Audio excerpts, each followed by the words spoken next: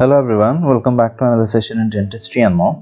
Today we have irrigation and intracanal medicaments from endodontics. So this session uh, explores uh, various uh, reagents used mm, as irrigating or intracanal medicaments during root canal therapy. So what are the ideal requirements for an irrigant?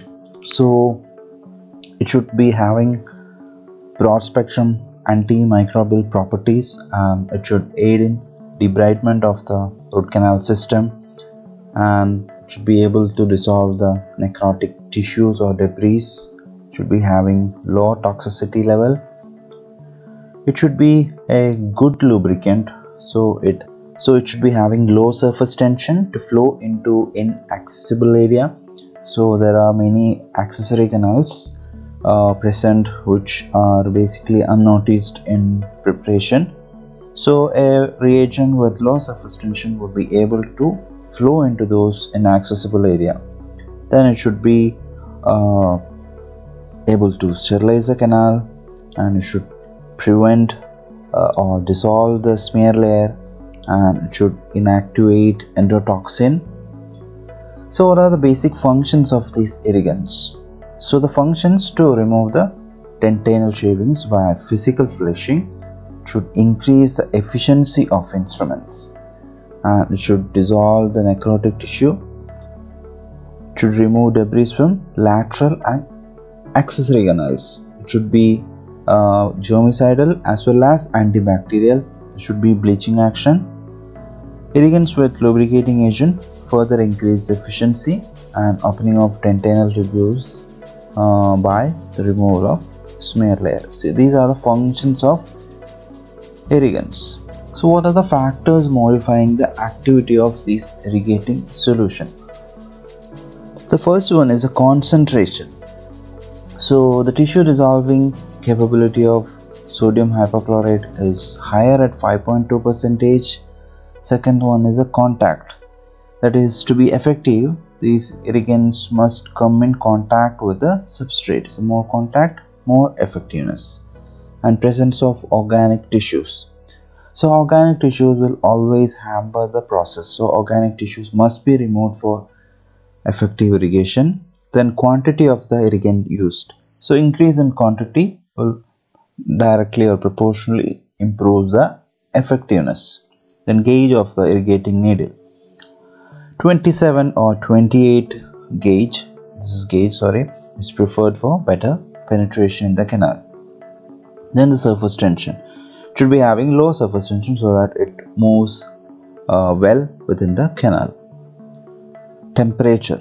So warming the sodium hypochlorite increases its efficacy. Study has proven that.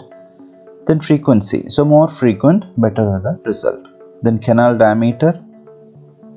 Wider the canal better is action of irrigant then age of irrigant freshly prepared solutions are more efficient than the older ones. Now moving on to the commonly used irrigating solutions. So chemically non-active solutions are water saline and local anesthetic. So chemically active materials they includes alkalis chelating agents oxidating agents and antibacterial acids, enzymes, and detergents.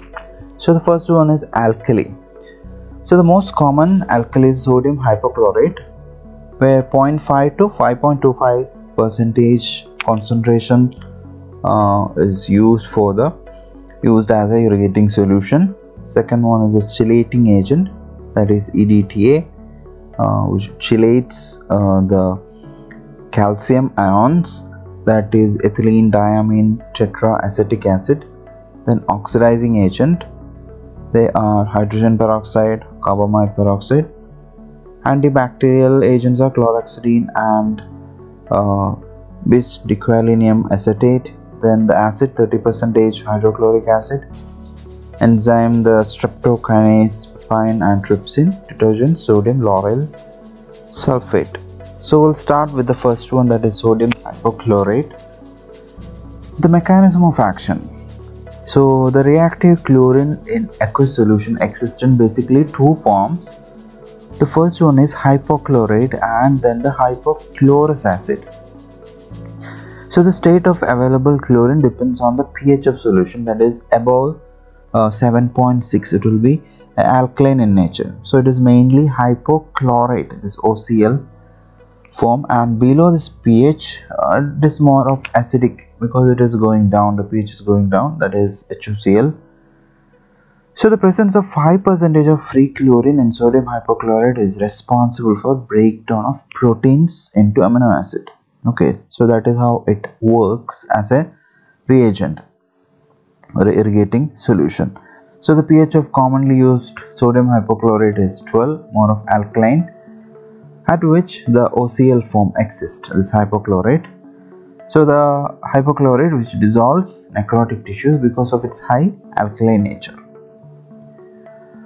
So this is a chart which shows the efficacy or the factors uh, affecting its efficacy when the volume of solution if there is a heating or time of contact is high the efficacy will improve whereas uh, storage time and uh, chemical agents are involved the present then the efficacy of the soda hypochlorite will decrease.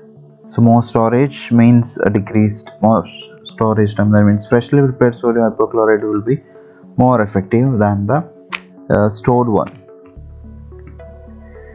So the advantages are it causes tissue dissolution has antibacterial and also bleaching action causes lubrication of canals it is very economical and easily available but the problems with sodium hypochlorite because of its high surface tension its ability to wet dentin is less which is quite irritant to tissues. If extruded periapically, it can result in severe cellular damage. So it is very uh, problematic to the surrounding tissues. And it can also irritate the gingiva if it comes contact with because of its caustic nature. It can bleach the clothes. It has had a bad odor and taste and vapors of sodium hypochlorite can irritate the eyes and it can be corrosive to the operative instruments. The second one is hydrogen peroxide. We commonly use 3% solution. So what happens is it rapidly dissociates into water and nascent oxygen. So on coming in contact with tissue, enzymes, uh, catalase and peroxidase, the nascent oxygen produced which act as a bactericidal and this effect is transient one and diminishes in presence of organic debris so if organic debris are present the effectiveness of hydrogen peroxide will be less next is a chlorhexidine which is optimal anti-microbial action with pH 5.5 to 7 commonly used in 2 percentage concentration so it acts as a bacteriostatic agent at low concentration, whereas at higher concentration it causes coagulation and precipitation of cytoplasm. So it is a bactericidal at higher and bacteriostatic at low concentration. So the advantages are a 2% solution which is used as a root uh, canal irrigant. Then 0.2% it can be used in controlling plaque activity then it is more effective on gram positive bacteria than gram negative one. So it is basically not considered as a main irrigant in standard uh, root canal procedure.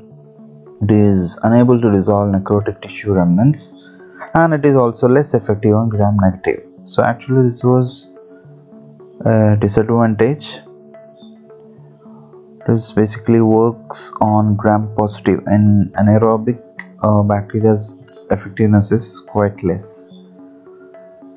Next is a chelating agent that is EDTA and other chelating agents like citric acid, polyacrylic acid are used for this purpose.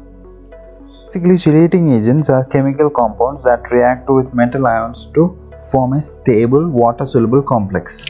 So they are also known as chelants or sequestrating agents. So these chelating agents have a ring-like center which forms at least two bonds with metal ion allowing it to be excreted so it creates a complex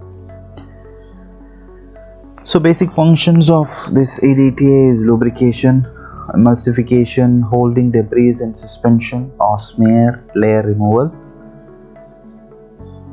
The uses are it has dentin dissolving properties that is the most unique property of EDTA. It helps in enlarging the narrow canals, makes easier manipulation of instruments and reduces time needed for debridement. So next we have the intracanal medicaments. So medications they basically destroy the remaining bacteria and also limits the growth of new arrival of bacteria. They are useful in treatment of apical periodontitis. So if there is inflammation which is caused by over instrumentation. So eugenol is a commonly used uh, intracanal medicament in uh, low doses it inhibits prostaglandin synthesis it inhibits nerve activity it inhibits white cell chemotaxis whereas the high dose it directly induces cell death and inhibits cell respiration. So it is used as an intracanal medicament used as a root canal sealer and it also used as a temporary sealing agent Next we have the intracanal medication phenol. It has strong inflammatory potential so at present it is rarely used as an intracanal medicament whereas a liquefied phenol that is carbolic acid which consists of 9 parts of phenol and 1 part of water which is used for disinfection before the periapical surgery. It is also used for cauterizing tissue tags that resist removal with broaches or files. Now we have the recent one CMCP that is camphorated monoparachlorophenol. It is probably the most commonly used medicament in endodontics presently even though its use has decreased considerably in the past few years. So its composition two parts of parachlorophenol and three parts of gum camphor which uh, give rise to CMCP. It is used as a dressing of choice of infected teeth. Now the Formocresol, the CMCP uh, has asked alone as a short note. Next uh, medication is Formocresol. It contains formaldehyde as its main ingredient and is still widely used as medicament for the pulpotomy procedure in primary teeth.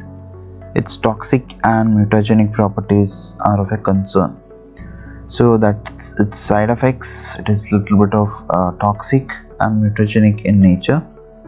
So it's commonly used in pulpotomy to fix the retained pulpal tissues. So composition it has uh, 19 percentage of formaldehyde 35 percentage of cresol and uh, 46 percentage of water and glycerin.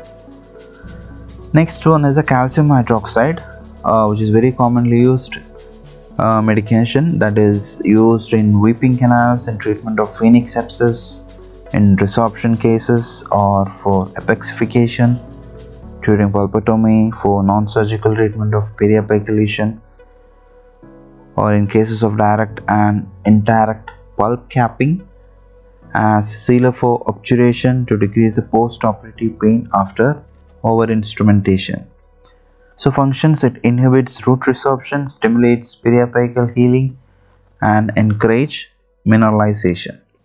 Uh, that was all about uh, intracanal irrigants and medications. This was very very brief uh, explanation or detailing of the irrigants and medications. It was in fact a very big chapter. Uh, there are many things which can be added as extra points. So this is very commonly asked essay question for to write for an essay. I think all these uh, compressed bullet points would be sufficient. Sometimes the single solution or a single irrigant can be asked as a short note. So that was all about the intracanal irrigants and medications. I'll come up with a new topic in operative dentistry and endodontics thank you